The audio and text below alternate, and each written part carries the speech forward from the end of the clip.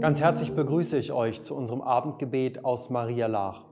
Hoffentlich, ja hoffentlich macht uns die Schöpfung, macht uns der Zustand der Natur, der ganzen Welt allen große Sorgen. Denn wir alle können ja dazu beitragen, dass es besser wird, auch im ganz Kleinen. Wir brauchen nicht nur auf die Großen da oben, die Industrienationen zu schauen.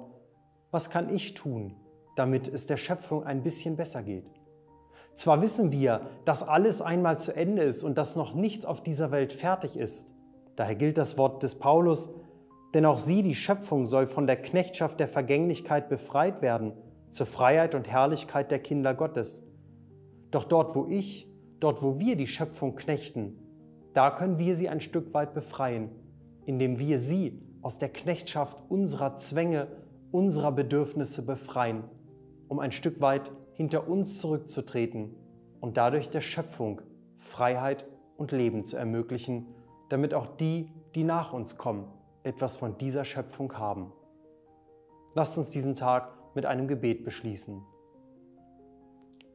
Herr, du hast uns die Schöpfung überlassen, nicht damit wir sie knechten, sondern damit wir sie benutzen, damit wir aus ihr leben und in ihr leben, so dass auch nach uns noch Menschen in dieser Schöpfung leben können, damit alles, was ist, in deine Herrlichkeit eingehen kann.